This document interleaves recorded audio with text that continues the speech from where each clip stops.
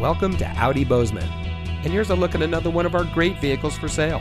It comes equipped with navigation, rear view camera, weather band radio, HomeLink, bi xenon HID headlamps, wood door panel insert, wood console insert, rain sensitive windshield wipers, wood dashboard insert, parking sensors, and has less than 80,000 miles on the odometer.